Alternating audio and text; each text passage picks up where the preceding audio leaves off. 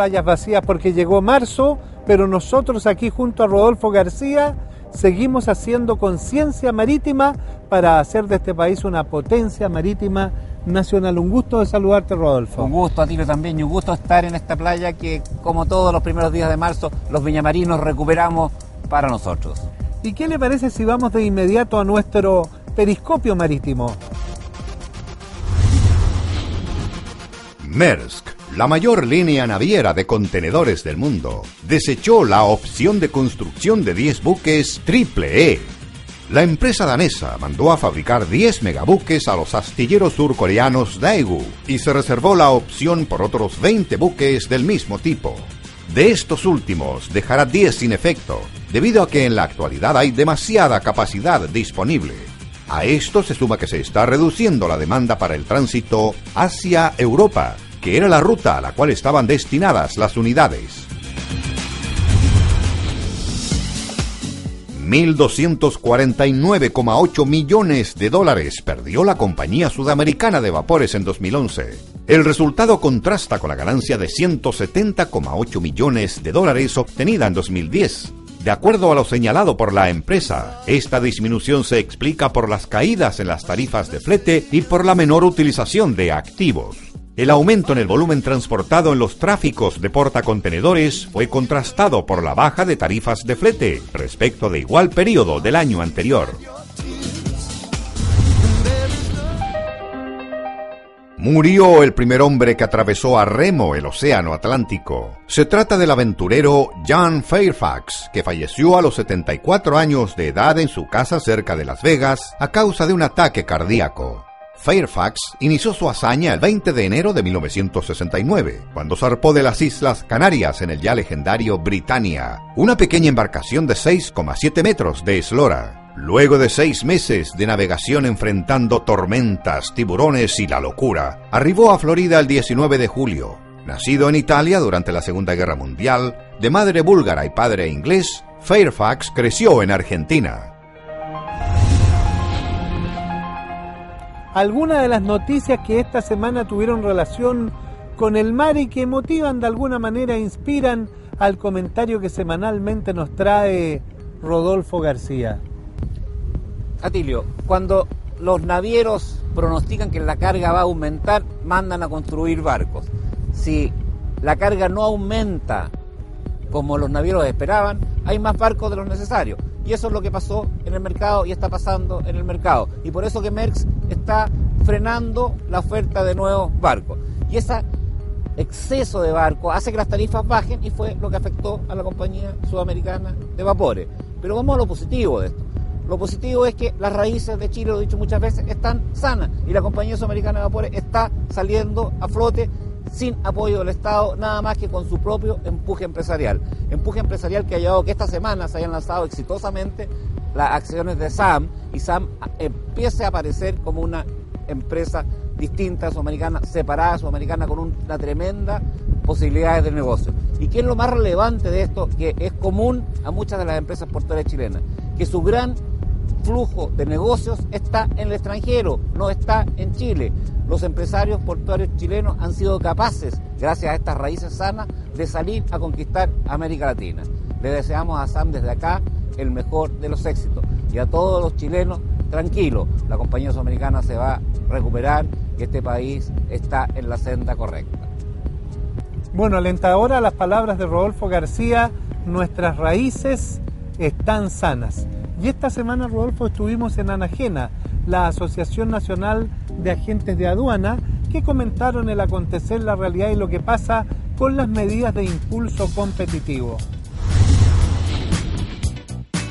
Un positivo balance del año 2011 realizó la Asociación Nacional de Agentes de Aduana, Anajena, que destacó los niveles de crecimiento de la economía que no se alcanzaban desde hacía años una cifra eh, bastante sorpresiva. creo que todos pensaban alrededor del 5,5, 5,6, y, y, llegamos al 6,70 y tanto.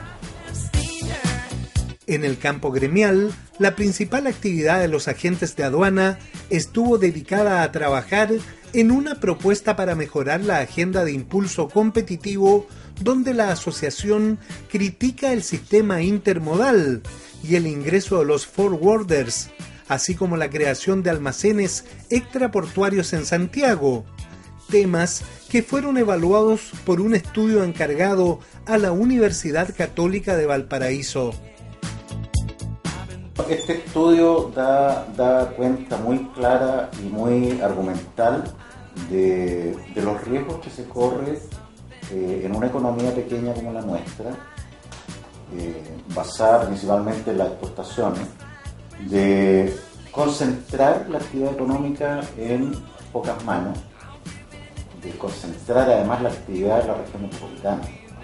También es un eh, creo que va contra todas las propuestas que manifestó el actual gobierno en su, en su campaña presidencial.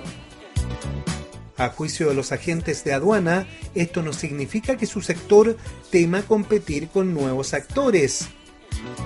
Buscamos la competitividad, pero ese estudio dejó de manifiesto de que eh, esa, esas propuestas no iban a causar justamente el efecto contrario al que se pretendía. Nosotros sentimos que nuestra competencia es perfecta, somos muchos agentes de aduana y no hay ningún, eh, no hay ningún acuerdo de precios y la competencia es real absolutamente, que no vale la pena modificar la, situación. Y ese fue el argumento central y, y somos optimistas, pensamos que fue bien recibido nuestros argumentos a nivel de gobierno y de las medidas.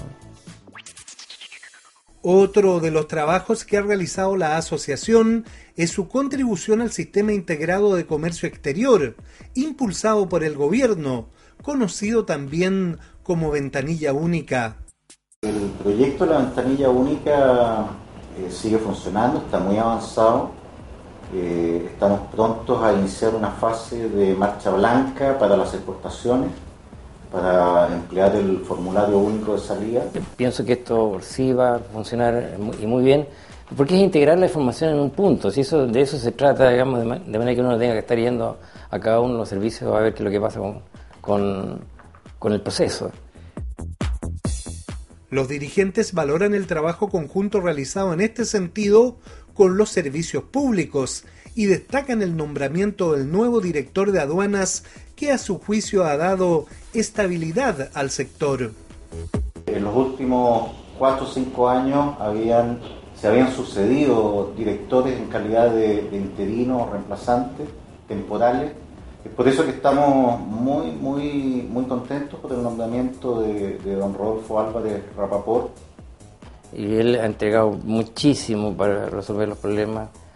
Ha, ha sido un trabajo constante, lo hemos visto, Hemos tenido varias reuniones en la misma línea, lo cual es muy bueno, no solo para la actividad, sino para el país.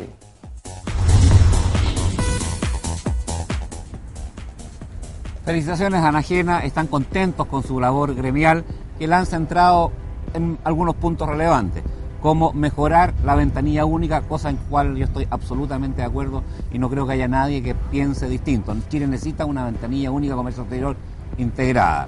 Segundo, no quieren que cambien las normas respecto a los agentes de aduana, en los cuales ellos dicen hay competencia más que suficiente. Y yo les encuentro razón en ese punto y también me parece que no es necesario cambiar las normas. Y después apuntan a dos temas que los cuales yo opino distinto. Ellos dicen no queremos almacén extraportuario en Santiago porque conducen a la concentración.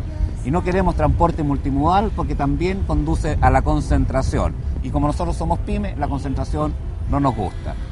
Yo estoy de acuerdo que esas medidas pueden conducir a la concentración, pero lo que hay que ver es si las medidas son buenas o malas desde el punto de vista logístico. Y si son buenas desde el punto de vista logístico, hay que implementarlas y atacar la concentración por otro camino. Cuando uno hace las medidas para evitar algunas cosas, por Dios que es fácil equivocarse. Yo voy a ver un solo ejemplo numérico. Argentina ha desarrollado en la Patagonia una industria en base a subsidios que significa que hoy día hay 30.000 argentinos trabajando en empresas de computación que ganan en promedio 2.500 dólares, que son 30.000 dólares mensuales por cada argentino. Pero se acaba de descubrir que el gobierno argentino está gastando por cada argentino que está allá 150.000 dólares al año. O sea, los otros argentinos están poniendo 120 mil dólares. ¿No habría sido mejor otro tipo de subsidio? A eso voy. Cuando las medidas son buenas, aceptémoslas y ataquemos la concentración por otro lado. Gracias, Rodolfo. Y te quiero llevar ahora a una interesante nota porque estuvimos conversando esta semana con un oficial chileno que ocupa uno de los altos cargos en la Organización Marítima Internacional y nos trajo y nos comentó esta noticia de que nuestra Armada estará a cargo de implementar su novedoso sistema de salvataje en siete países de Centroamérica. La Dirección del Territorio Marítimo y Marina Mercante Nacional se adjudicó la implementación de los centros de búsqueda y salvamento en siete países de Centroamérica. Esto fue posible gracias a un convenio alcanzado con la Organización Marítima Internacional, con sede en Londres. El acuerdo fue calificado como un importante logro por el oficial chileno Carlos Salgado, quien ocupa el alto cargo de presidente del Subcomité de Búsqueda y Rescate de la OMI. Un hito en la historia de, nuestra autoridad marítima, particularmente la Armada. Eh, es un reto importantísimo estamos llevando a nivel internacional, que está en la vista, y eso es muy importante, que está en la vista de toda la comunidad marítima internacional.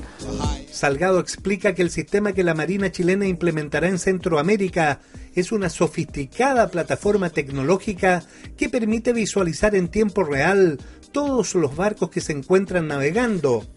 Mediante un clic se accede a la información de cada nave, incluido su historial, características técnicas, dimensiones, carga, planos, así como los datos de su capitán y de cada uno de los tripulantes.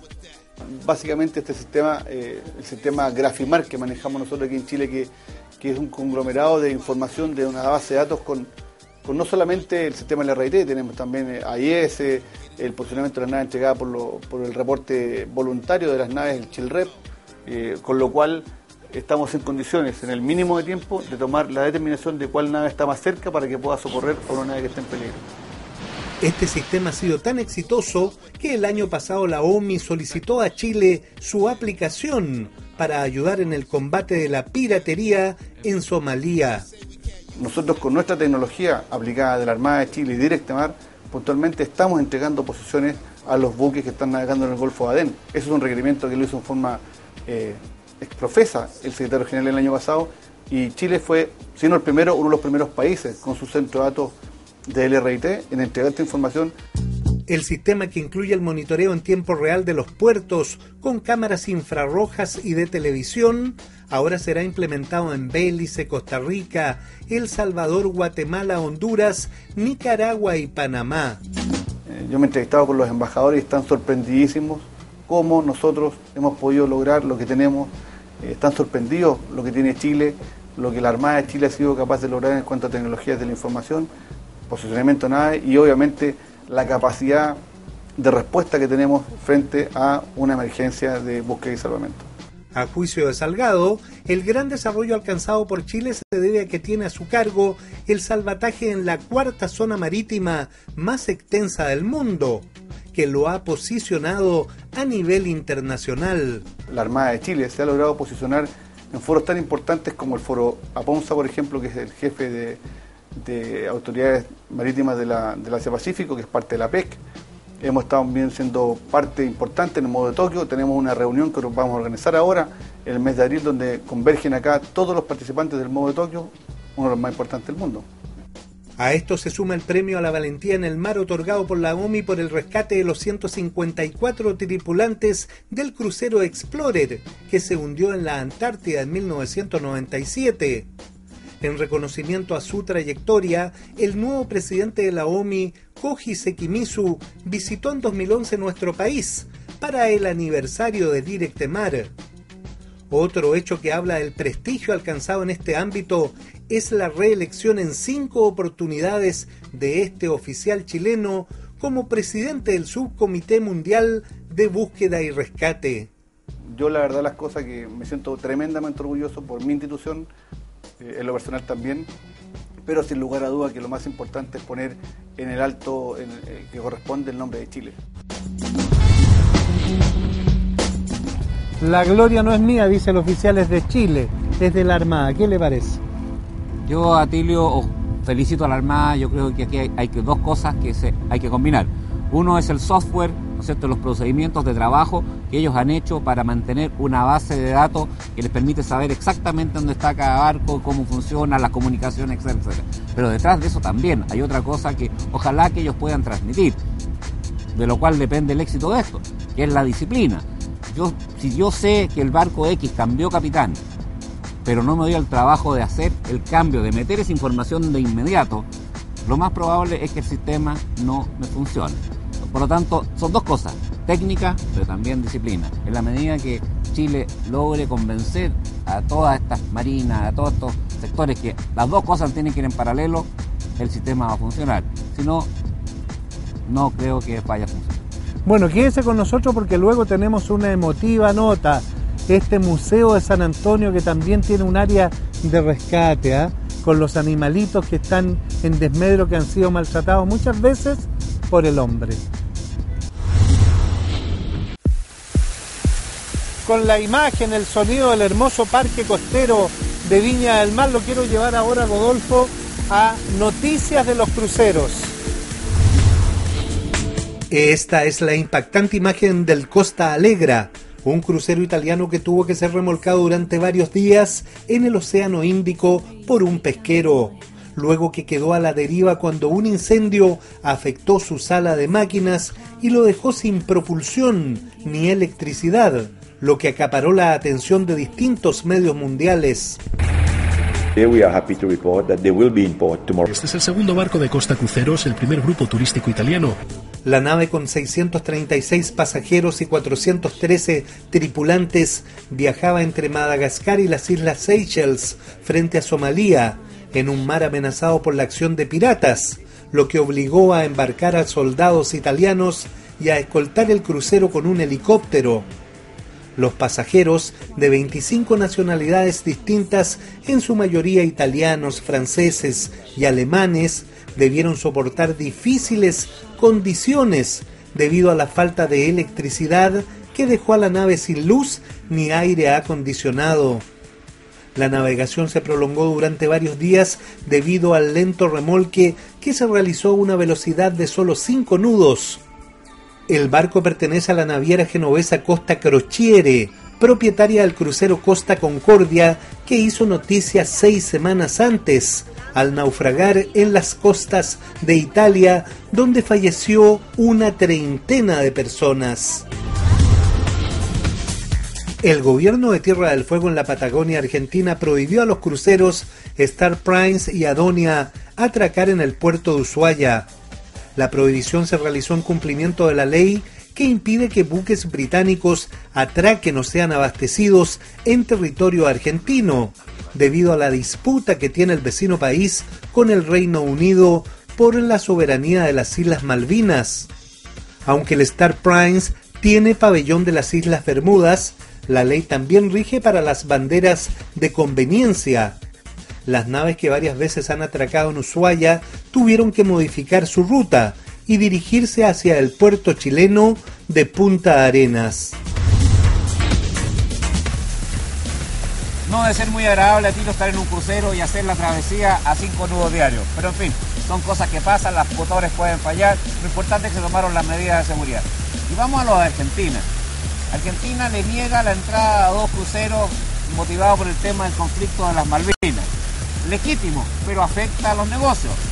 Como también legítimo es el movimiento de Aysén, pero también afecta a los negocios. Porque resulta que dos cruceros también dejaron de asistir a Aysén o de recalar en Aysén por el tema del paro. Entonces, no veamos solo lo Argentina, veamos también lo nuestro. Y esto, señores, es grave. Se acaba de terminar una encuesta sobre todos los mineros del mundo y les preguntan sobre qué importa para hacer un negocio. Y ellos dijeron, la riqueza mineral del país, 60%. Las normas, la tranquilidad, la estabilidad del país, 40%. Por lo tanto, cuando pasan estas cosas, uno tiene un 40% de probabilidad de perder el negocio futuro. Interesante, y lo quiero llevar ahora a una nota muy emotiva.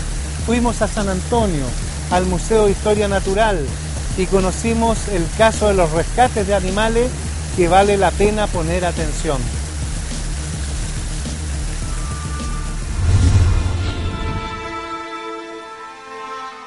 Esta conmovedora zorrita chilla en su silla de ruedas es uno de los íconos del Centro de Recuperación y Rehabilitación de Fauna Silvestre de San Antonio.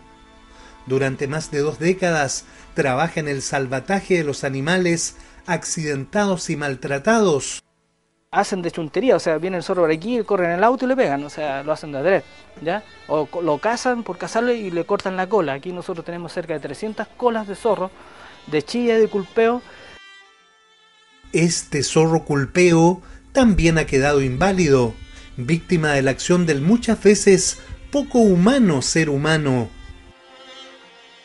Llegó casi muriéndose acá, ciego, eh, no se podía mover ninguna de las extremidades porque tiene quebrada una pata ahora, ¿ya? Y hay una que tiene buena. Eh, se le hizo una intervención, no, los médicos veterinarios dijeron que no se podía hacer nada, le iban a hacer la eutanasia a los dos. Eh, nosotros dijimos que no. También se ha evitado la eutanasia o sacrificio de un centenar de animales rescatados por este centro perteneciente al Museo Municipal de Ciencias Naturales y Arqueología de San Antonio.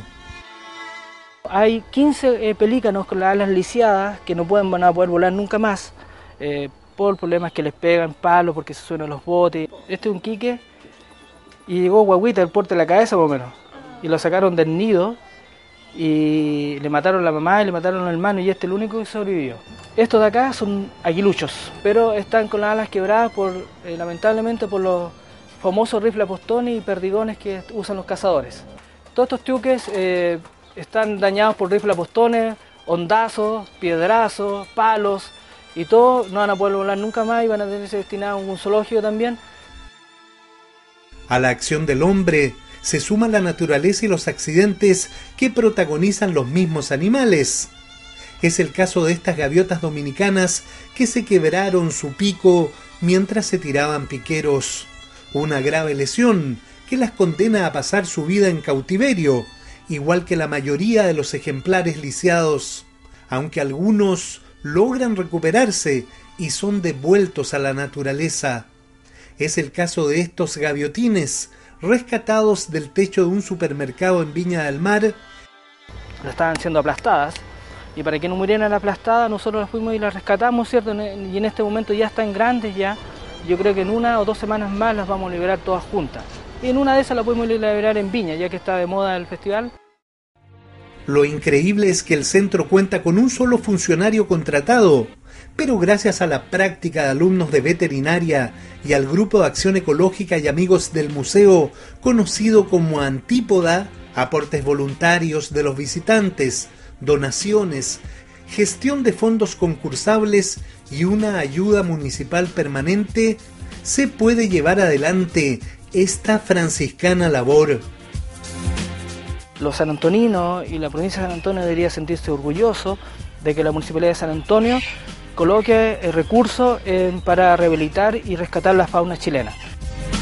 La gran esperanza está puesta ahora en el proyecto del nuevo Museo de Ciencias Naturales que se construirá próximamente. Es muy moderno, con piscina, con clínica veterinaria para los veterinarios, con estadía para los que vienen del extranjero, jaula corrales especializadas para cada animal. El nuevo edificio que ya ha sido aprobado albergará a todo el Museo Municipal de Ciencias Naturales y Arqueológicas de San Antonio. Va a ser una vista panorámica hermosa porque va a tener una vista hacia la desembocadura del río Maipo. Este va a ser un jardín nativo, ya con muchos árboles y arbustos, consta de muchas eh, oficinas también una sala de simposio como para unas 150 personas, para ahí dar charlas, eh, educar, digamos, a, la, a, la, ciudad completa. Esta va a ser una cafetería, es ovalada, ¿ya? está diseñada especialmente para tener en su interior el esqueleto de la ballena azul. Se trata de uno de los pocos esqueletos de ballena azul que se conservan en el país, que es parte de una rica sala de zoología con restos de especies marinas que habitan nuestras costas, como delfines embalsamados, ejemplares disecados de tortuga laúd, la más grande del mundo de hasta 2 metros de longitud. A esto se suma una valiosa colección arqueológica que contiene vestigios de las culturas Bato, Yoyeo y Aconcagua que habitaron la zona central.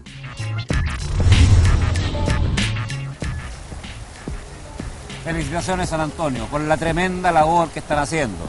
Y ustedes, señores amigos televidentes, por favor, lleven a sus hijos a estos lugares. Un día domingo dejen de ir al mall y lleven a estos lugares. Les van a hacer un aporte valórico para toda la vida. Vuelva a ver estas notas en nuestro portal, envíenos sus opiniones a nuestro correo y nos vemos la próxima semana. Gracias, Rodolfo. Gracias, Tilio.